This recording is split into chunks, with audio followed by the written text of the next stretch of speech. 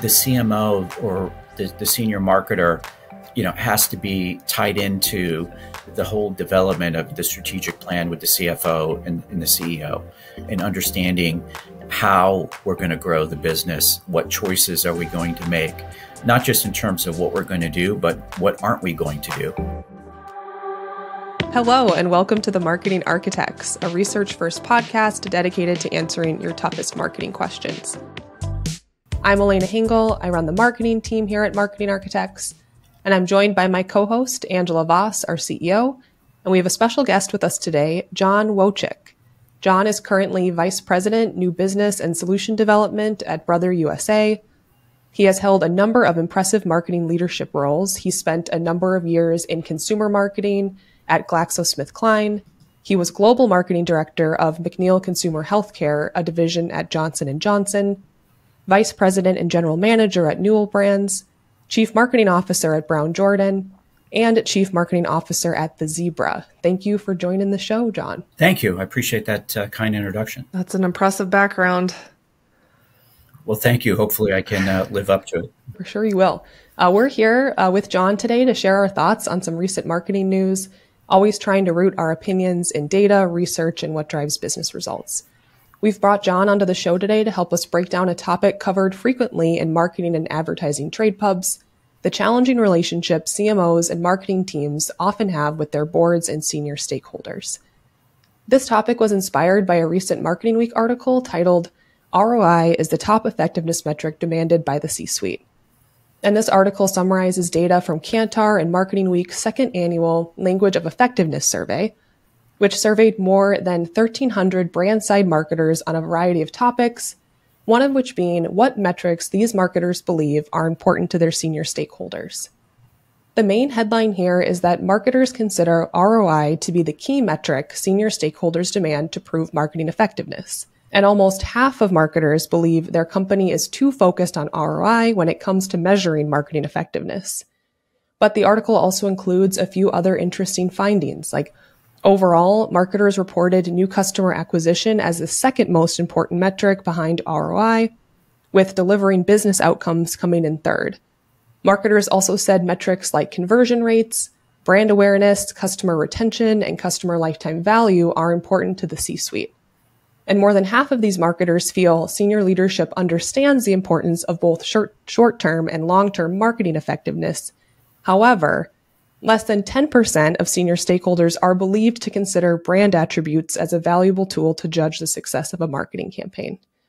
So, John, I was really excited when you agreed to come on the show because we've wanted to cover this topic of proving marketing's value to senior stakeholders for a while, but as someone who's only worked at a marketing agency, my perspective is a bit limited, but you've led marketing at a wide variety of brands from established public companies to VC backed startups. So I wanted to start off by asking you, in your experience, what marketing metrics have been most important to senior leadership at the brands you've worked at? No, I appreciate that. You know, I, I have worked really at a wide variety of companies, and it's certainly kind of situational and somewhat different. I would say at the top of the pyramid, no matter where I've worked, results are, are the first key thing that they expect now at a big public company that has a suite, you know, a CPG company has a suite of brands, consumption and sales, building a brand is very important. You know, when you get down to VC backed or PE backed companies that are more geared towards, you know, lower funnel performance marketing, they're very much looking at every dollar that you spend returning some significant upside. And then that gets to be the the challenge right? Because i don't think you can build a brand through clicks. Right. So just considering this pressure and you just mentioned how hard it can be to both build a brand and drive performance. This might be a hard question but how do you think about then balancing both those initiatives of you know the brand building initiatives and the performance initiatives? You know it's a great question. Um, I'll kind of reflect on a position I was in as, as CMO at a VC backed company where we were trying to build a brand, but at the same time, there's a clock ticking, right? There's money in the bank and every dollar you're spending is burning. So you kind of have to be mindful that while you, you're trying to build a brand, you, you also need to drive traffic to a website that converts. And if you don't do that, you're no longer CMO. Your, your company is no longer in business. So it's a little different. The runway is much shorter. You know, in a CPG publicly traded company, you have several quarters, years to kind of recalibrate and balance those two things. I kind of think about the situation that I'm in and the stakeholders that I have, and I kind of manage to that. Happy to delve deeper into that, but that would be the, the headline. John, what about the when you think about the size and stage of a brand? We work with clients that are hundreds of millions in annual revenue all the way up to multi billions. In your perspective, has senior leadership's perception of marketing and the results that marketing should be accountable for? Have you seen a difference in size and stage of the brand that you've worked at, or how do you think about that? Yeah, no, I, I do think size and scale, you know, make a difference because inherent in size and scale, scale would be uh, a successful brand. The fact that it would have scaled to that point would say that it has some equity and has, you know, some time to continue those those efforts. Now, I, I have worked on big brands where they haven't been nurtured and they were big, powerful brands. They may still be large in terms of sales, but they've needed to be repositioned to a new target audience because they're no longer relevant in the same ways that they were. So again, I think you, have to take a look at it.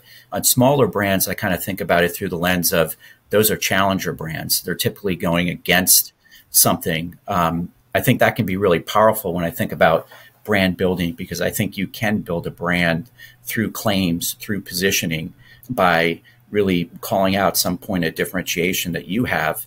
And I've done this in, in markets where, you know, I've repositioned a challenger brand against a much larger brand that is kind of the uh, leader. The, the, tough thing is, is as brand marketers, what we're steeped in this idea of, of brand equity, it's really somewhat emotional right? I mean, the brands that you have, maybe the brands that you're wearing right now or, or in your homes. I mean, they're brands that are part of your life. You're connected to them. That takes a long time. That's not uh, a relationship you likely got into easily. So even in situations, uh, Angela, where it's a small brand, it's a challenger brand, I understand I need to dial up the performance and we need to, whether it be drive traffic, drive consumption at Walmart, because we got to keep the lights on.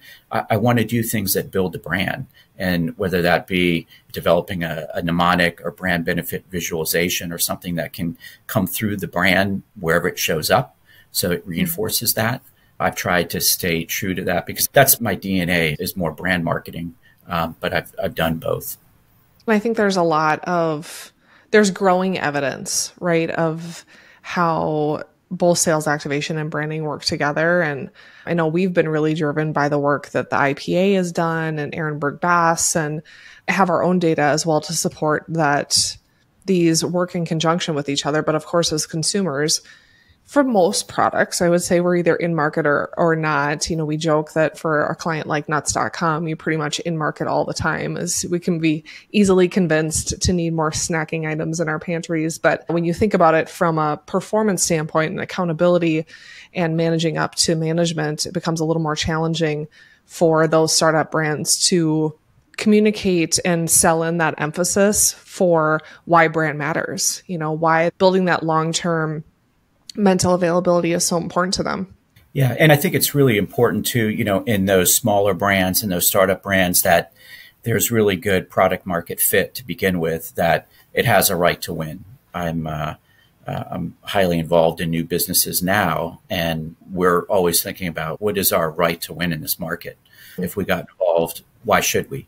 How can we win? What's not being served right now? What unmet needs can we unlock that others can't? That's what creates a brand, right? It's something that delivers for you time and time again. Yeah. So then what's been your experience in terms of pitching brand or long-term channels like TV advertising into senior leadership? What advice do you have? What experiences do you have uh, that can maybe help others that are out there?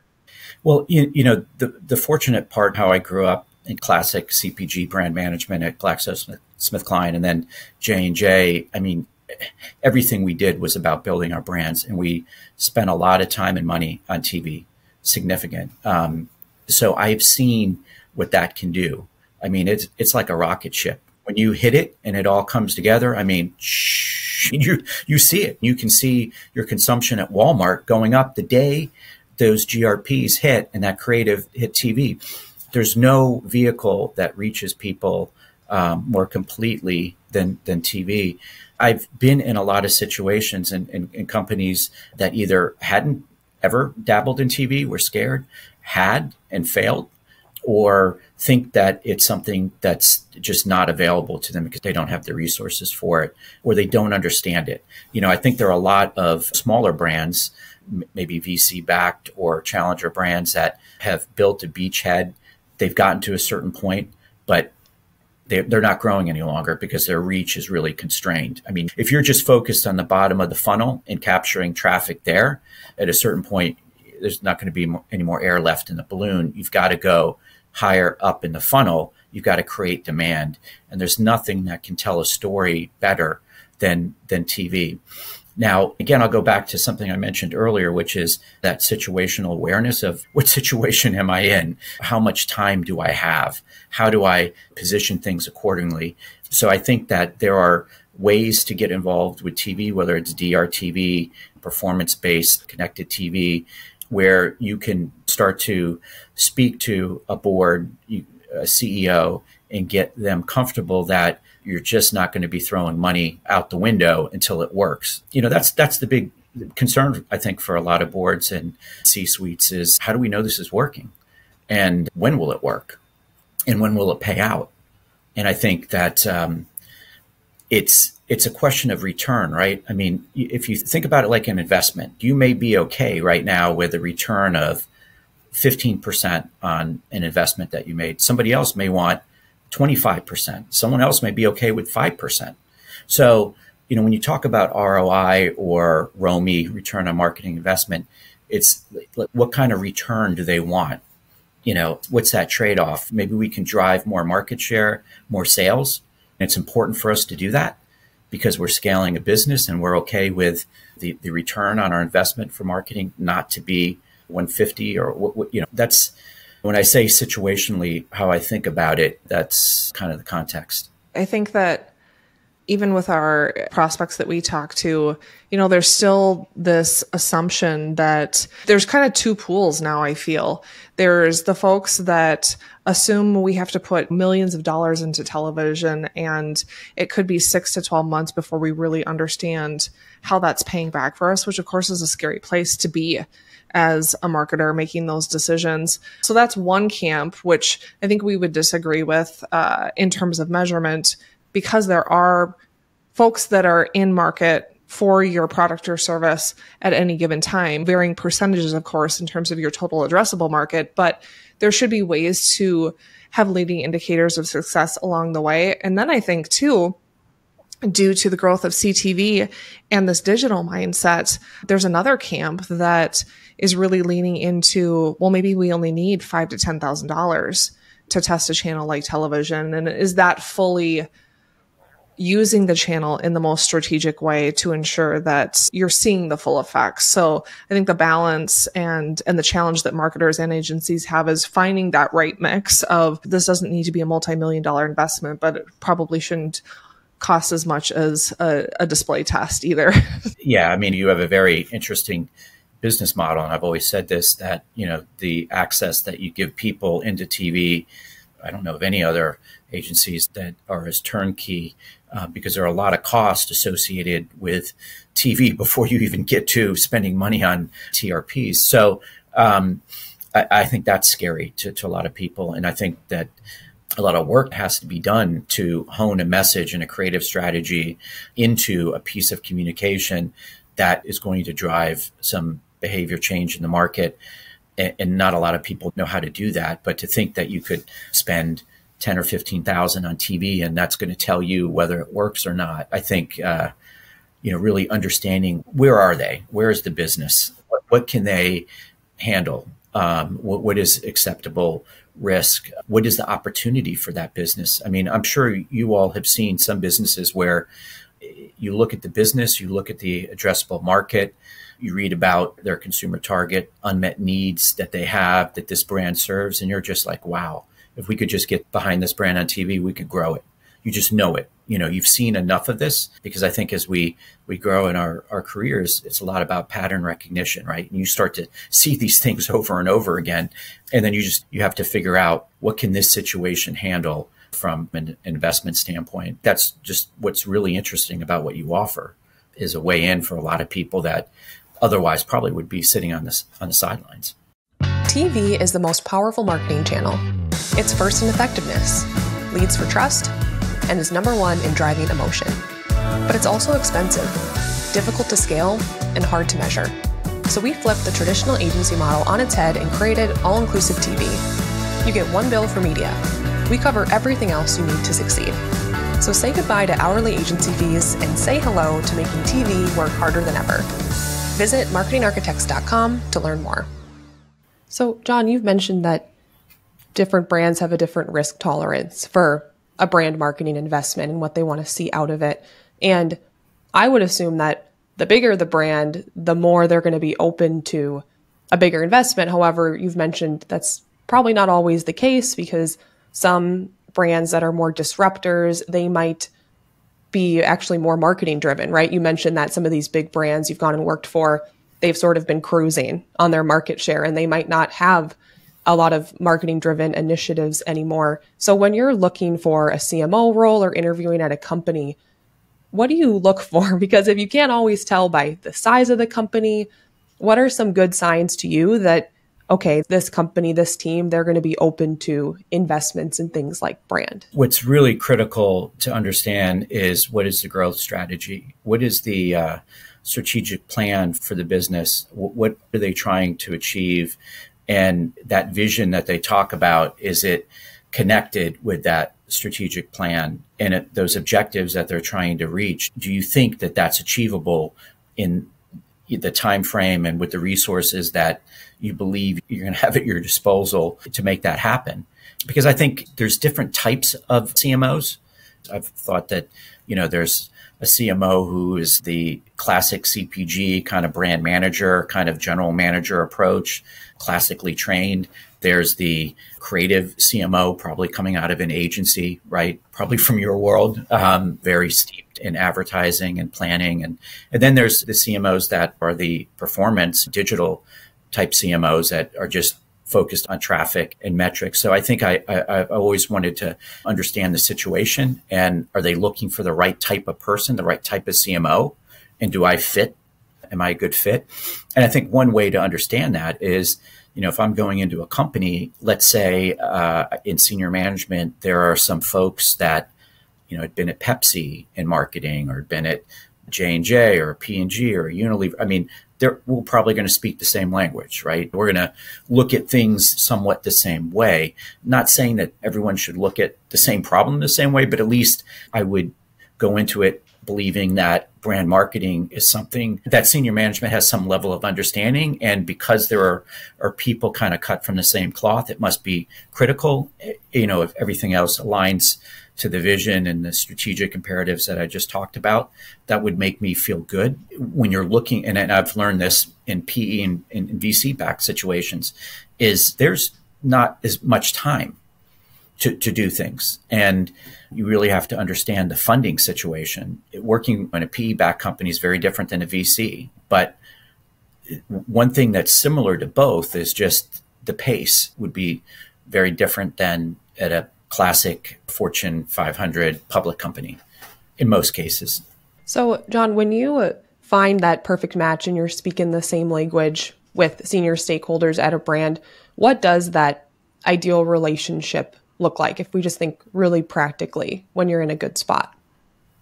I think that uh, the, the CMO or the, the senior marketer, you know, has to be tied into the whole development of the strategic plan with the CFO and, and the CEO and understanding how we're going to grow the business, what choices are we going to make, not just in terms of what we're going to do, but what aren't we going to do? Because I think that's what separates a great business from, you know, a not so great business. A lot of people try to do everything, nothing gets done. Great businesses understand that there are some things we're just not going to do. Not that they're not good ideas. We, are just not, we're not going to do it because we want to do a few things really well. And I think that that relationship that you can have with a CEO and, and with a board and, a, and other members of the C suite, where you're helping to craft that, because I, and again, I mean, I'm biased because I'm a, I grew up as a marketer, but I, I think that uh, when it comes to growth and understanding how to grow a business, that's what I was trained to do. And I've done it literally so many different industries, both B2B and B2C, that it excites me. Um, it's something I'm passionate about. I think it's something that I'm good at. And when I can, when I can get in there and work with others, because I, I don't have all the answers. But I think as a leader, we have to be asking all the right questions and then trying to work together, eh, you know, collaborating to get those answers on the table. And as long as you're a part of that process, then to me, that, that feels like I'm in the right spot. Right. It sounds like one thing you said about marketers or marketing needing to be focused and needing to be to have sort of a seat at the table feels really important. You're talking about marketing helping to drive growth and drive strategy. I could see how if marketing gets detached from that, you become sort of the make it pretty department or the, oh, I have this idea, that idea. But you're saying in a perfect world, marketing's really tuned in to the strategy of the business. And that helps, probably helps you succeed long term. Yeah, absolutely. I, I mean, I've been in businesses that are more sales driven where you know marketing and and sometimes you you know it, I've been in B two B situations where it's a long cycle to develop a marketing lead that becomes a sales lead. But sales are really the ones that are closing, right? I mean, that's in that business is pretty critical, and those relationships are very critical. And marketing can start to kind of get pushed down. But I think even in those types of businesses, having a brand and communicating what you stand for, and now with the proliferation of channels that we can reach people and is, is, is really critical as well. So that's why you, you got to have a seat at the table.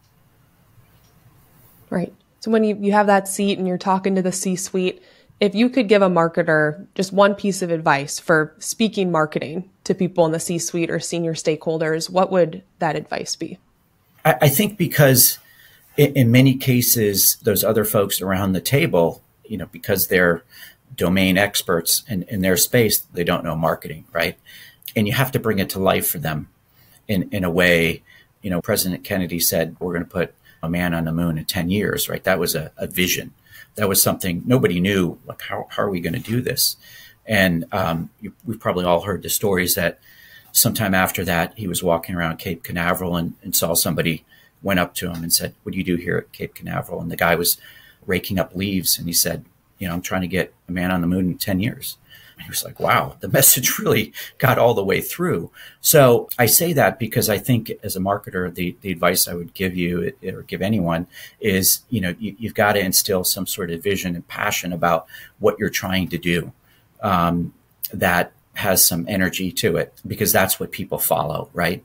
You know, if you're just going to have PowerPoint presentations or Google slides, I don't think that gets anyone excited, right? They're going to look across the table they're going to look in your eyes and they're they're going to say either I believe in this person or, or I don't.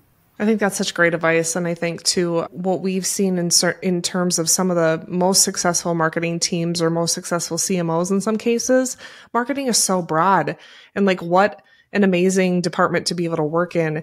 We have so much influence over so many areas. Marketing influences HR and our ability to hire people, and so relating what we do to the business, right? Just being that enterprise thinker and thinking through how does this all add up and why does it matter and how can I be most relevant to each area of the business because it really does have that impact. That's what we love about it, right? That's the game we play. Of course, we drive sales. That's our core job, but it's so much more than that. I think that as you work with, you know, senior teams and you're developing strategy, then you have to bring that to life for the organization, right? It, has got to be a part of the culture, right? And you, you have to check in with the company. And that means everybody in the company every quarter, every month. How are we doing? What are we achieving? What aren't we achieving? And, and, and how do we need to kind of reset and adapt? Because while we may have these great plans, there's this competitive environment and context that's changing all the time. As soon as you have a plan, it changes because there are so many things out of your control that have happened, but you have to adapt to it. Um, and I think one of the things that marketing can do, not just externally, and I think you touched on this, Angela, I think internally, there's a lot marketing can do to help drive a culture uh, in a company. Because in the end, you know, why one company succeeds and, and another doesn't has probably much more to do with the people in that company than anything else, right? Because if the three of us come together and decide to do something and put our minds to it, we're probably going to do it. Well, John, I can see why you've been a successful CMO because you're a great storyteller, and I love that um, that message of marketing, setting the strategy, and how could your marketing team come up with a a vision that is like putting a man on the moon? I mean, what a great story to tell, and um, a great goal for marketers to have to really be that voice in the organization. And um, I just love that story. I think that might be a great place for us to to wrap things up. That's it for this episode of the Marketing Architects. You can connect with us on LinkedIn, and if you find our show valuable, please leave us a rating and review. And if you want to know what the research says about some recent news, you can contact us at marketingarchitects.com slash podcast. Now go forth and build great marketing.